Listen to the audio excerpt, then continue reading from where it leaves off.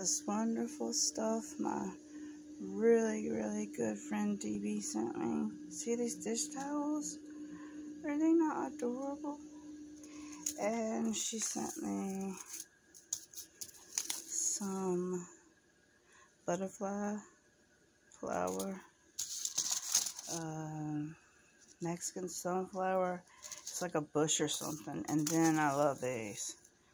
Those are so beautiful.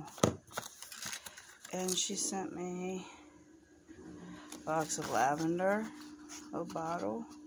Actually, it's a big bottle. There we go.